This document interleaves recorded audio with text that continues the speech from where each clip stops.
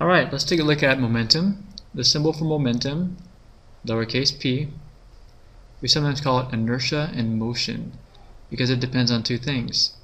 It depends on the inertia of the object, which is related to its mass, and its motion, which is its velocity. The units are kilogram times meters per second. Looking at this relationship, we can see that momentum is directly proportional to mass and also directly proportional to velocity. So what happens when mass doubles? How will the momentum change? The momentum will also double. What happens if velocity tripled? The momentum will triple.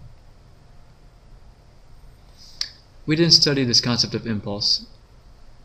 You can um, you can move on.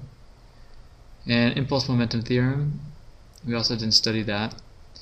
And conservation of momentum, we did study this when we looked at two objects pushing off of each other. This law says the total momentum of a system does not change during a collision or explosion.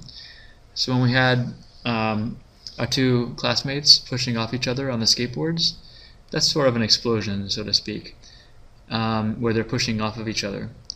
And the big idea with that is they have equal momentum. So the momentum of object 1 going to the left equals the momentum of object 2 going to the right. And momentum is calculated as mass times velocity. So the mass of object 1 times the velocity of object 1 will equal the mass of object 2 times the velocity of object 2. If we're going to solve for one of these unknown variables, we have to have information about the other three. And there's an example of this in your in your um, final exam review packet. So try that example and check your answer on it. The momentum of a system is not conserved when there is an external force. The example of the two students pushing off each other, they're experiencing an internal force. It's a force between the two of them. But if you have some force from the outside, like friction acting on one of the skateboards but not the other, or um, gravity, um, if they're on a hill, then that would not result in momentum being conserved. Can momentum cancel? Yes. It is a vector.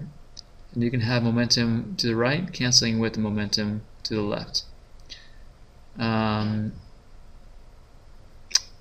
okay let's um, stop there. And if you have questions in class, please ask. Alright, scholars, have a great evening.